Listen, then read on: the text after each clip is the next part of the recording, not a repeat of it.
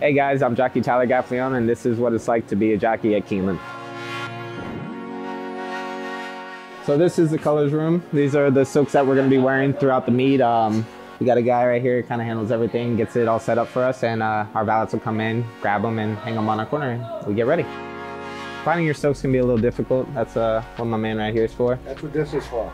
He's got a chart and kind Log of them in by each trainer, numbered each silk, and roll right through it.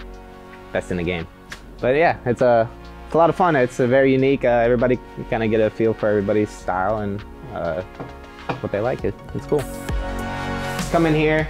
They got overnights for entries next week. Uh, you got to come in. got to sign in for the day. This is your weights and the horses you'll, uh, what races you'll be riding. This will be my corner. It's my valet, Shane. Again, best in the game. Yeah. I'm basically uh, an assistant. Um, I prep his day, get his r- day ready. Um, I take care of his equipment, polish his boots, his saddles, uh, provide his towels, body wash, whatever he needs to. My, my job is basically to take care of him and uh, make him feel as comfortable as possible so he can ride at his best. You know? Shane, uh, he kind of gets everything set up for me. So um, gets my silks uh, hung up, gets a matching helmet covers, uh, goggles, everything ready. Uh, Helmet for later on, some extra stuff. Huge Pedialyte guy. Stuff saves you. Lotion, it gets dry here. So the silks here, they represent the owners or the group of individuals that uh, purchase the horse. Uh, it's up to them to decide what style, colors, and uh, what material they'd like to see on their horses. And from there, uh, once they're entered, uh, it goes in the program, and then they get hung up here, and then on us.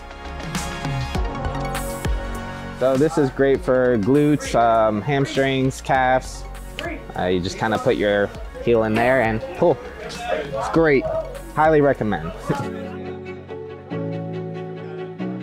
so these are a pair of riding boots. Um, they're styled uh, to the rider's liking. For me, I like the zippers, easy to get on and off. I put a piece of elastic here in case I need a little extra room, but So you can customize them. Yes, uh, you can change the colors of the top, um, little things, uh, obviously the measurements, but yeah, and I use two, three pairs a day, kind of rotate between them. Uh, we'll get dirty in some races uh, with the kickback, so get a clean pair.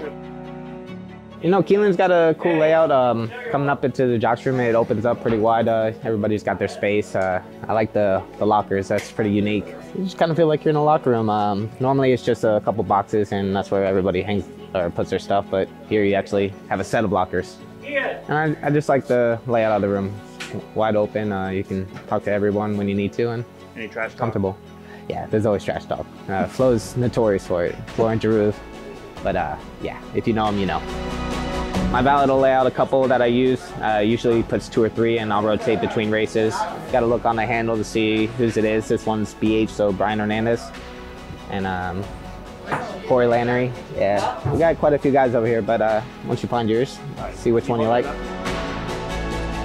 Obviously, uh, high stakes. Uh, Keeneland, such a competitive need. We we want to be successful, but um, just got to go out and ride each horse as it comes. Obviously, nerves are part of the game, but you just learn to deal with it, and the horse give you a ton of confidence, so that always helps.